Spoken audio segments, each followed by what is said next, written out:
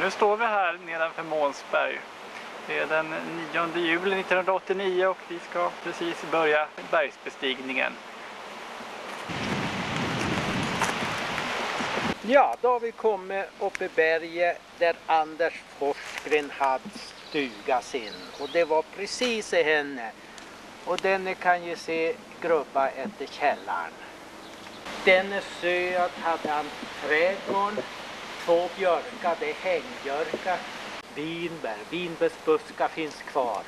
Han hade äppelträd och han var, han var nymodig. Han hade med sig idéer söderifrån. En bit väst om henne stod lagorn och stallet. Och så fanns det en rökstuga lite bit längre västöver. Och den uppe i backen stod rökstugan. Och så en bit längre ner stod Häberge. Henne går en väg östöver. Och vi kan ju kalla den för Grevenvägen, för den är grev. Och långt ystöver henne hade, hade de en boe och så hade de en kvarn där. Precis i henne stod lagorn. Och den stod kvar så jag minns den. Vi hade korna här på sommaren. Och den, tror jag, den ramlade ihop. Och den sålde pappa till ved då de tog gruset i Remma. Då, då körde de eh, stenkross med en ångmaskin. Henne är brättläggda. visst då strax nedanför där lagorn stod. Vi förstår, odel upp den biten. Och så slog Johan Gustav och Olle och jag, vi var med pappa och slog två häckar hö som vi häckade nere. Henne är ju en parhäcka står kvar. Tänk dig, i henne slog vi hö. Vi har gått nu en liten bit västöver från Fähuset mot Välta alltså och kommit till där bastun stod. Det var ju henne de rakt köttet. Och här, henne ser du en hörnsten. Och så gick eh, henne. Vi har gått en bit nu från Fähuset västöver efter vägen som går till Västerfäboen. Sjöströmsboen kallar vi den för. Efter, en bit efter den vägen så tog vi av till vänster lite grann. Och där kan vi se något roligt. Anders Forsgren han var religiös. Han skrev en bok om religion och den finns i Uppsala bibliotek. Men så hade ni en pojke som var ännu mer religiös på något sätt. Och han gick då och bad just precis till den här sten. Och om det var för att tåren rann på sten eller han stod på knä så sten blev blank. Det är inte många som vet om just den här, att det är just den här sten. Men det vet jag. För det sa morbror Sigurd. Och han visste han. Det här är Delta. Det var min morfar, Janne Forsgren, som var son till Anders Forsgren. Som högg upp det henne utför henne. Och då kom han med timre fram hit, körd med häst. Och så välte han på eh, utför henne. Och så sen då tog han eh, nerifrån i den eh, och så körde han ner på sjön. Och den här välta den använde de en bra bit in på 30-talet. Sen började de köra runt berget. Det var inte bättre än att min morfar han ramlade utför. Han dog inte av det men han dog lite efter det. Denna ned stod måla Pelles hus som jag inte har sett något av. Och så henne uppe stod bröggstugan och vi slog allt henne. Så vi hade en parhäcka just i den, det granen. Och det slog vi fram till 50, början på 50-talet.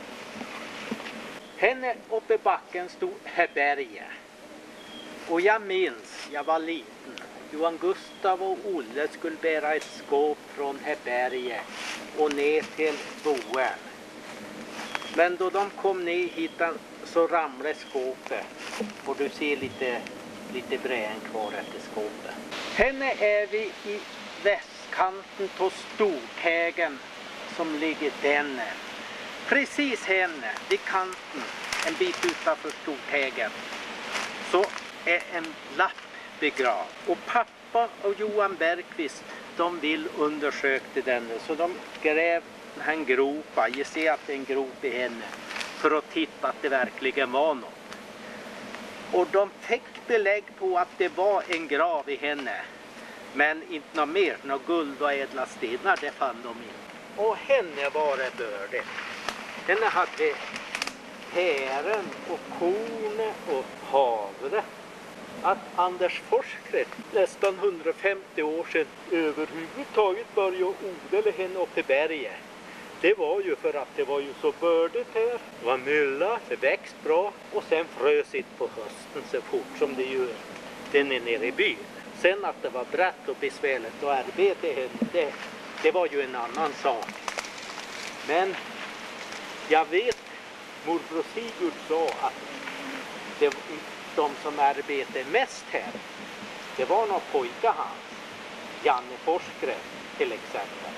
Det, det var ju min morfar. Och morbror Sigurd sa att det var en riktig arbetskarl. Stor och kraftig var han och han hade händerna så han kunde ta över en stor mattallrik. Och här finns mycket, mycket intressanta växter som börjar växa söderöver. Guckuskogen. Nonan finns. Henne är Britt Britta. Och den är storhuset som pappa och mamma byggde upp 29 skulle jag tro det var. Och det brann just då huset var färdigt. Och så längre över där stod byggde de då lagom. Men det använde vi som boer då sen. Det här huset byggde pappa och mamma 29. Innan dess bodde de, eh, byggde de ett hus uppe i Månsberg. Men det brann. Eh, det var inte riktigt färdigt då det brann ner och sen byggde de här. Innan de bodde här och i Månsberg bodde de i Avaträsk och före det i Risbäck. I Risbäck är Karen född 20, Anna-Greta 22, Johan Gustaf 24, Olle 26. Sen flyttade de till Avaträsk och där är jag född 28. Och det var ett hus som stod bredvid farbror Hasses hus, ett gammalt hus. Och i det huset dog Anna-Greta 29. 29 flyttade de upp till Månsberg och byggde huset som brann. Och då byggde de det här huset. Här är Dagny född 32 och Hasse född 34. Vägen gick precis där jag står, det är ju knappt 10 meter till huset. Men de visste då att den här vägen skulle breddas och vägen skulle gå där den nya vägen går. Men det dröjde längre än väntat så att vi bodde här ända till 40-talet med vägen så här nära. Men det gick ju inte så mycket bilar på den tiden. Där uppe, där Olles hus, nya hus står, där låg lagorn. Den låg lite längre hitåt. Jag tror det var bara 3-4 meter från brunnen. För att mesta vattnet gick ju åt, åt korna och därför skulle man ha nära till brunnen. Och på andra sidan lagorn låg gödselstacken. Eh, lagorn brann på 60-talet någonting av åsknedslag. De slutade med djur i slutet på 40-talet. Så då stod den bara tom. På 30-talet var det en landshövding i Västerbottens län som hette Rosén. Och då fick man en flagga och man satte upp en flaggstång. Och det gjorde pappa och satte upp den. Köket eh, ligger innanför det här fönstret här nere. Fönstret som är närmast upp. Och där bortre var ett sovrum där pappa och mamma låg. Och där uppe det var jäntens rum, alltså Karin och Dagny bodde där. Och här var det, ja, det var inte trädgårdsland här. Eh, sen så blev det potatisland bland annat. Men ursprungliga eh, trädgårdslandet det var här. Av det är eh, vinbärsbuskarna kvar. Här var det humle och det växte så absolut tätt så att man kunde inte se den som satt där innanför. Och det var ju väldigt bra att sitta där och titta ut men det syntes inte in. Övre fönstret där, det är pojkas rum. Och här nere till vänster är vardagsrummet, det andra fönstret i vardagsrummet. Och det högra är salen. Vi var inte så mycket i salen utan det var mest i vardagsrummet vi var. Där var det en stor fin öppen, eller är fortfarande stor fin öppen spis och ett stort rum. Då de byggde det här så första rummet de gjorde i ordning, det var det bortre rummet, jäntens rum. Men sen hyrde Agnes och Ville Joelsson det här övre rummet. De gjorde i ordning det och de bodde där några år. Och där föddes meteorologen Rune Joelsson. Och då de var små så flyttade de härifrån och då fick vi det det rummet som pojkas rum. Här är trädgårdslandet. Ja. Väldigt stor fin trädgård. Bakom här var Remma. Den sträckte, den började gå upp här, man ser lite gå, och så gick den flera meter högt. Ända fram till den här vägen, gamla vägen. Och här åkte vi ut för med skidor och kälke. Då åkte vi rakt ut här och så ut på vägen där, men det kom ju inga bilar så det var inte farligt. Den här, det här var ursprungligen en sommarlagor. och den stod bara en bit in här där tallarna står. Och den drog pappa hit då som eh, vedbod. Här gick då remma fram hit och då tog man grus undan för undan. Och då blev det så stor plan att de kunde ha en Eh, stor kross och sen en stor hög grus här. På 30-talet så körde man då med, jag skulle tro det var en tändkulemotor. Men sen 39 då man inte fick olja så körde de med en eh, ångmaskin. Och eh, den eldade de med ved. Ovanför Brattlägda stod gamla ja, eh, Forsgrens lagård och den eh, hade fallit ihop. Det sålde pappa då till bränsle till den här eh, ångmaskinen. Ovanför Brattlägda stod ett stall. Den skulle vi ha som lagård i det nya huset. Men det huset brann så de hann inte använda det som lagård utan det använde vi som fäbod. Så då vi slog där så bodde vi där och vi, eh, jag och Olle, Johan Gustav, vi, vi var getare och då låg vi där. Men sen då vi inte använde det längre så flyttade pappa ner den hit till eh, verkstaden. Och då vi köpte den här tomten så rev Olle verkstaden och den ligger i stockar en bit här borta. Då började eh, pappa odla upp här. Det här slog vi några häckar hö, alltså där borta på myren. Det var torrare då. Så... Och sen hela vägen bort fram till Tögers. Ja, det, oj vad vi lekte där bäcken. Det var där vi lekte. Vi hade vattenhjul där och dämde upp. Och, eh, på eh, vintern 41 och 42 tog det slut på vatten i brunn. Då fick vi ta vatten där i eh, bäcken tills det frös, bottenfrös där också. Då gick vi upp till Tögers. Där fanns, fick vi vatten men eh, jag har inget minne av att vi måste gå på sjön och ta vatten. För det gick ju åt mycket vatten till korna. Ja, då, då slog vi här med lie.